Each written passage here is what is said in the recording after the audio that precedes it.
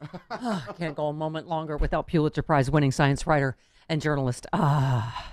Okay. Laurie Garrett is here. Hi, Laurie. I know you've been on TV pretty much every moment all weekend, so I, I appreciate you taking time. Hi, Stephanie. Hi. Oh my God. What I what uh, a weekend. I know, like I say, every time I turn on the TV, you were on, but I, there are so many questions, right, about his treatment. About th- this is of such uh, international import, and and it it really is a national security crisis in itself, isn't it? Absolutely. If if we don't know the status of the president, but he's still making all the decisions and doing so through fog of treatment drugs, side effects, and perhaps feverish delirium, um, the nation is not well served and the world is not well served. Laurie, talk about that a little bit because we we've been saying that that many people that have been on specifically this steroid um, and by the way, you said steroids like this, dexamethasone, right, stifle the immune system, so it's usually considered dangerous to use them in an early stage COVID. Again, we have questions about when exactly he was infected, how long he's known, when. I mean, because this is not the normal course of treatment to be hospitalized and on oxygen the day after you're you announce you you've just been diagnosed, right? None of this adds up.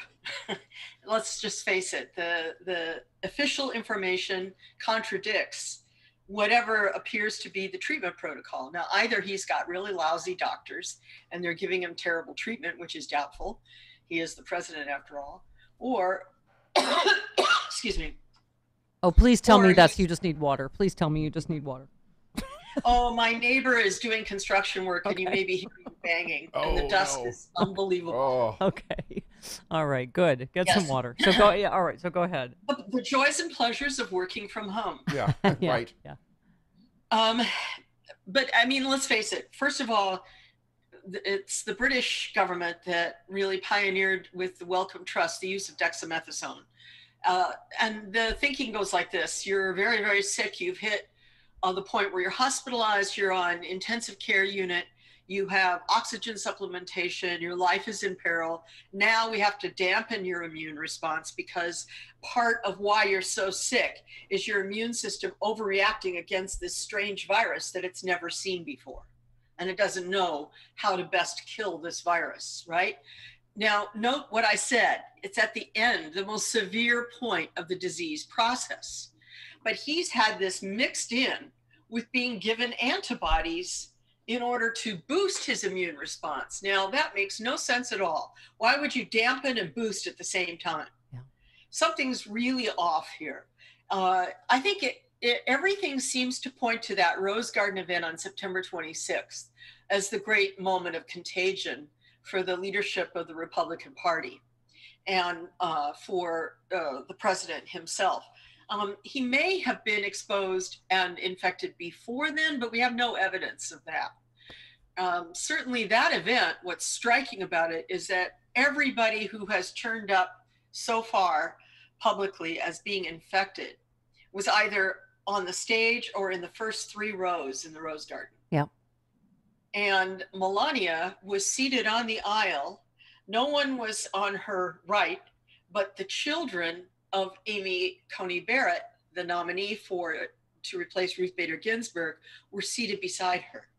Uh, there's, you know, Amy Co- Coney Barrett has said that she had COVID in August. She said it was a mild case. She tested positive and she was fine. Is it possible that the Barrett family had within it a super spreader child mm. or a super spreader adult? What did this all come from them? We don't know right. because the next big gap in information from the White House is contact tracing. You know, yeah. it, this is such a classic textbook case of transmission because everybody was in this tightly packed space together. We know who they were. We know where they were seated. We have tons of photographs. Sorry, Uh-oh. I will. That's Commissioner Gordon. You might not have to take that. Oh, I'm going to kill it. oh. um, that is like a 1940s tele- movie awesome. telephone. Yeah. yeah. Why isn't it? Why isn't it? Uh oh. no, no, no. I'm a I'm a bigger technospaz than you, so I love that moment so much. But go ahead. well, that's a phone I never use, so when it rings, it's almost always a junk call. That's all of us that don't know technology at some point. Why is it? Why do I? What's happening? Go ahead- Um, Go ahead, Laurie. Sorry. The point is that they were all seated together in this tight knit little spot, and this is the same person. Uh oh. That's okay. Tell them to screw off. You're on a very important radio television show. In the middle of a radio show. Uh, Okay. Go ahead. Right. Well, you know, I you you and other segment ever. doctors that speculated about doctors that speculated about this that Amy Coney Barrett could be a super could be the super spreader led me to make an inappropriate joke about she's Carrie at the Republican prom, which is you know that's not scientific like you would say. But you're saying this is part of the point. We don't know enough about this virus yet to know that yes, she could still be shedding virus after she has quote unquote recovered, or that would lay lie to something else the president says repeatedly kids don't get it and they don't spread it. I mean, this is About half, we know that about half of all transmission of this virus comes from people with no symptoms. And we know that children can be transmitters, though the older you are, the more likely you are. Uh, in other words, the older children, the teenagers, are much more likely to have adult scale transmission possibilities. Uh, small children, not so much.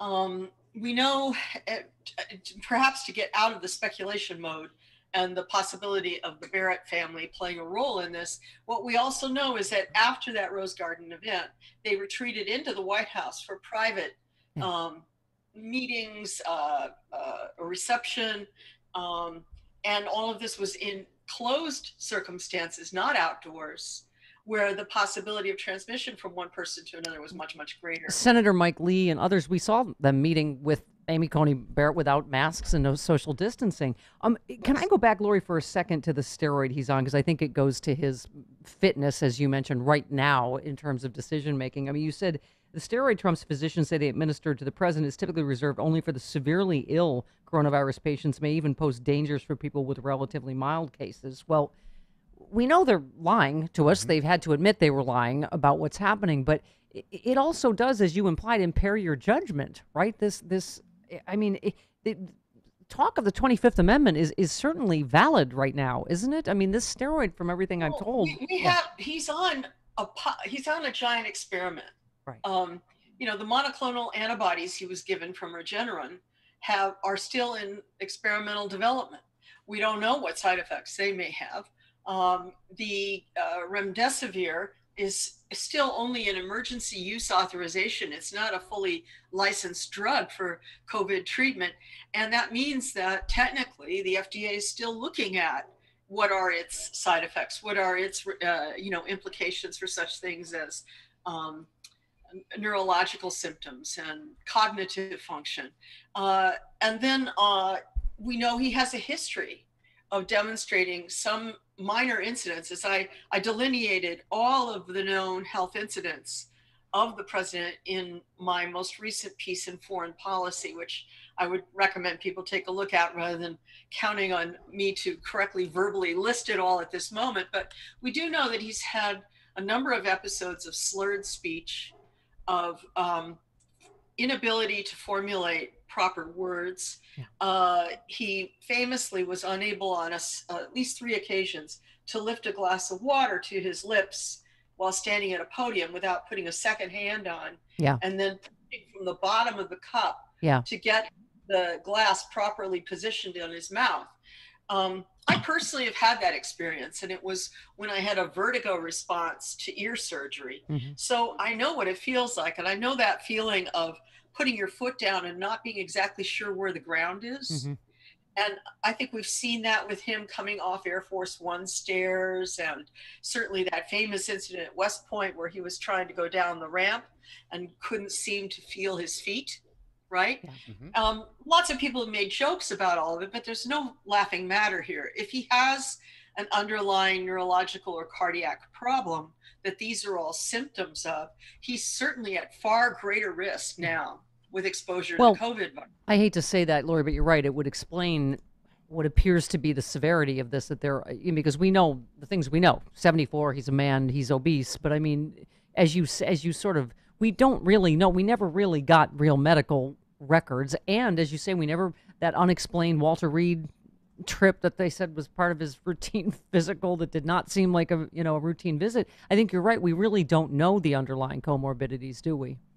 No, we don't. And he's gone out of his way for decades to hide the reality of his health.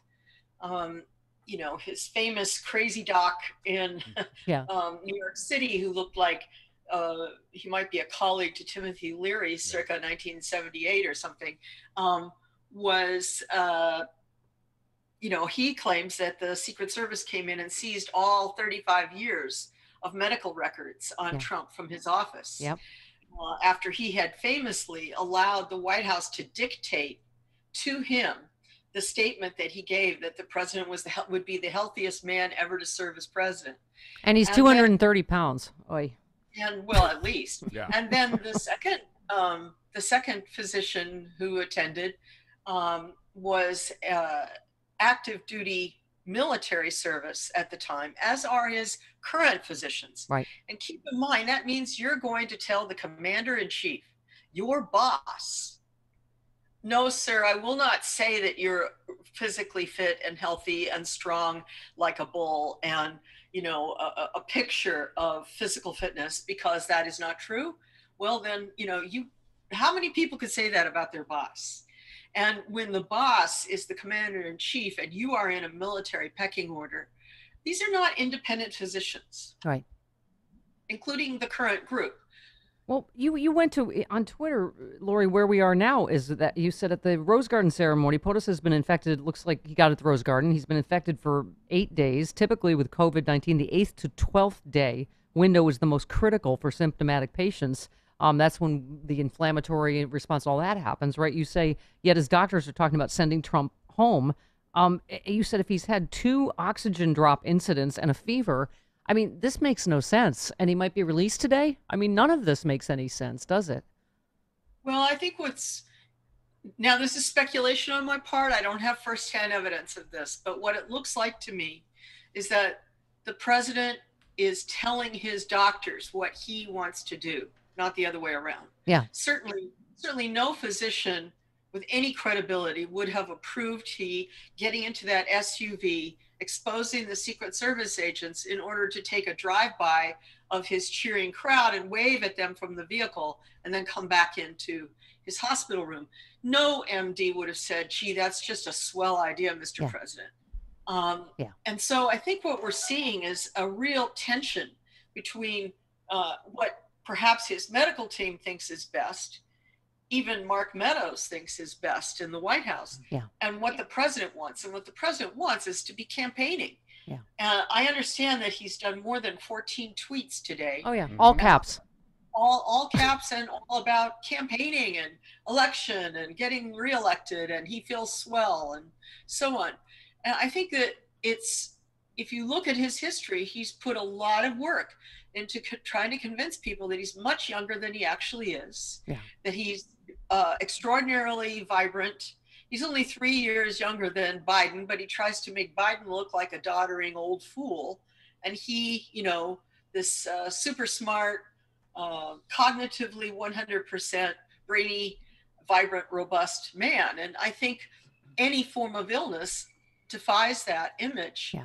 And is uh, repugnant to him. And quickly, can I just say, uh, first of all, it's insane they have Pence, who's next in line, flying around, continuing to campaign and debate. But also, you said it's hard to imagine how McConnell can assemble his Senate voting bloc to push through the SCOTUS vote of Amy Coney Barrett. The numbers of COVID 19 infected Republican senators keeps rising. Even if asymptomatic, they should self isolate for two weeks to protect others. I mean, that that's the medical. They are continuing to ignore the medical facts, aren't they? Well, almost nobody connected to this White House outbreak is abiding by the CDC's well posted, available for all to see, uh, self isolation and quarantine guidelines for those exposed to COVID. None of them should be, if you if you've been even exposed, whether or not you've tested positive, you're supposed to self isolate. Yeah. If you know that you've tested positive, you're supposed to be in quarantine, and that's two weeks.